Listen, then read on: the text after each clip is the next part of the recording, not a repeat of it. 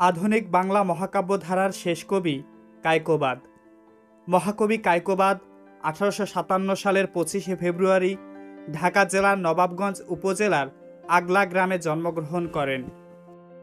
তিনি আধুনিক বাংলা সাহিত্যের প্রথম বাঙালি মুসলমান কবি। বাঙালি মুসলমান কবিদের মধ্যে তিনি প্রথম মহাকাব্য ও সনেট রচনা করেন। তার প্রকৃত নাম মোহাম্মদ কাজেম আল কোরেশি কায়কোবাদ তার সাহিত্যিক ছদ্মনাম। কায়কোবাদ ঢাকার পোগোজি স্কুল এবং সেন্ট গ্রেগরি স্কুলে প্রাথমিক শিক্ষা লাভের পর ঢাকা মাদ্রাসায় এন্ট্রান্স পর্যন্ত অধ্যয়ন করেন। কিন্তু পরীক্ষার আগেই পোস্টমাস্টারের চাকরি নিয়ে তিনি সগ্রাম আগলায় চলে যান। সমগ্র চাকরি জীবনে তিনি এ পদেই বহাল ছিলেন এবং এখান থেকেই অবসর গ্রহণ করেন। কায়কোবাদ বাংলার অপর দুই মহাকবি হেমচন্দ্র বন্দ্যোপাধ্যায় ও নবীনচন্দ্র সেনের ধারায় মহাকাব্য রচনা করেন। তবে নবীনচন্দ্র সেনই ছিলেন তার প্রধান আদর্শ। তার কাব্যগ্রন্থগুলো হল বিরহবিলাপ কুসুম কানন অশ্রুমালা, মহাশ্মশান শিব মন্দির বা জীবন্ত সমাধি, অমিয়ধারা শ্মশান ভস্য মহরম শরীফ, প্রেমের ফুল, প্রেমের বাণী প্রেম পরিজাত, মন্দাকিনী ধারা গস পাকের প্রেমের কুঞ্জ ইত্যাদি। বিরহ বিলাপ। কবির প্রথম কাব্যগ্রন্থ। কবির মাত্র ১৩ বছর বয়সে প্রকাশিত হয়। কবি অবশ্য বলেছেন, আমি যখন বারো বছর বয়স্ক বালক, সেই সময় আমার বিরহ বিলাপ নামে ক্ষুদ্র একখানা কাব্য প্রকাশিত হয়। অশ্রুমালা। বিখ্যাত গীতিকাব্য।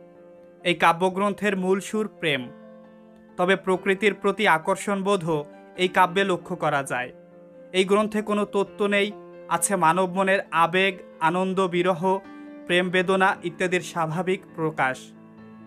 কবি লিখেছেন, ইচ্ছে হয় তারে নিয়ে বনবাসী হই, চাইলে এ লোকালয়, এ যে বড় বিষময়। মহাশ্মশান তার শ্রেষ্ঠ রচনা এবং এই মহাকাব্য দ্বারাই তিনি মহাকবি রূপে খ্যাতি অর্জন করেন। এটি অমিত্রাক্ষর ছন্দে রচিত।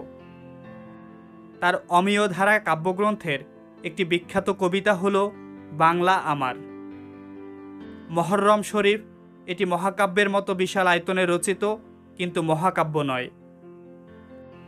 মহাশ্মশান। মহাকবির রচনার কথা বলতে গেলেই প্রথমে যে নামটি আসে তা হল মহাশ্মশান। এটি বাংলা সাহিত্যের সর্ববৃহৎ মহাকাব্য। দীর্ঘ দশ বছর সময় লেগেছিল এই মহাকাব্য রচনায়। ষাট স্বর্গে রচিত সাতশো আশি পৃষ্ঠাব্যাপী মহাকাব্য এই মহাশ্মশান। এটি প্রথম ধারাবাহিকভাবে মোহাম্মদ রওশন আলী সম্পাদিত কোহিনুর পত্রিকায় প্রকাশিত হয়। বাংলা সাহিত্যের এই সর্ববৃহৎ মহাকাব্যের কাহিনীসূত্র পানিপথের তৃতীয় যুদ্ধের প্রেক্ষাপট। এই মহাকাব্যের ঐতিহাসিক চরিত্রগুলো হল ইব্রাহিম কার্দি, জোহরা বেগম, নজিবুদ্দৌলা, সুজাউদ্দৌলা, আহম্মদ শাহ আবদালি আতাখা প্রমুখ। মুনির চৌধুরী তার রচিত রক্তাক্ত প্রান্তর নাটকের কাহিনী এই মহাকাব্য থেকেই নিয়েছেন।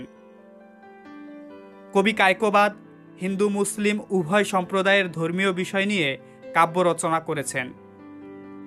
সম্প্রতি বাংলা একাডেমি মহাকবি কায়কোবাদের সমগ্র সাহিত্যকে কায়কোবাদ রচনাবলী নামে চার খণ্ডে প্রকাশ করেছে। তার একটি বিখ্যাত কবিতা হল আজান। আজান কবিতার বিখ্যাত লাইন হল, কে ওই সোনালো মোরে আজানের ধ্বনি, মর্মে মর্মে সেই সুর, বাজিল কি সুমধুর, আকুল হইল প্রাণ, নাচিল ধমনী, কি মধুর আজানের ধ্বনি। বাংলা কাব্য সাহিত্যে অসাধারণ অবদানের জন্য নিখিল ভারত সাহিত্য সংঘ। তাকে কাব্যভূষণ, বিদ্যাভূষণ ও সাহিত্যরত্ন উপাধিতে ভূষিত করে।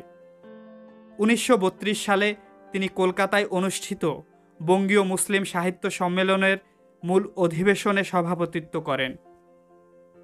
উনিশশো একান্ন সালের একুশে জুলাই কায়কোবাদ ঢাকায় মৃত্যুবরণ করেন। ঢাকার আজিমপুর কবরস্থানে তাকে সমাহিত করা হয়।